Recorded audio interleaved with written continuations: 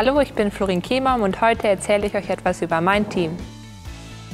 Als erstes natürlich meine Eltern, die halten mir immer den Rücken frei. Und meine Mama ist die, ähm, mit der bin ich wirklich sehr eng. Wir verstehen uns super gut. Sie hilft mir auch ähm, halt außerhalb des Reitsports ganz viel mein, mein Leben zu organisieren und zu managen.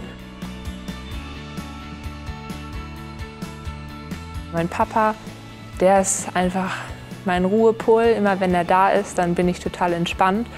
Und ähm, er kommt aufs Turnier und hat immer einen lustigen Spruch dabei und dann geht es einem immer direkt viel besser und dann ist auch diese Angespanntheit weg und ähm, das ist einfach gut für mich.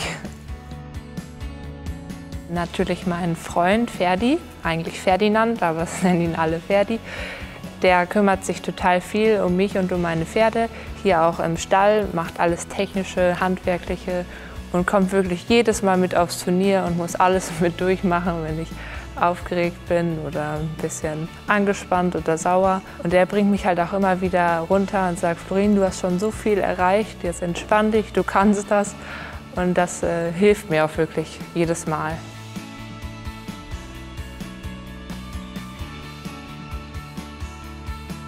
Mir sind enge Personen oder enge Vertraute sind mir total wichtig, weil bei denen kann ich mich auch erst wirklich öffnen und ähm, besprechen, wie alles gemacht werden muss oder wie ich an mir arbeiten kann oder an den Pferden.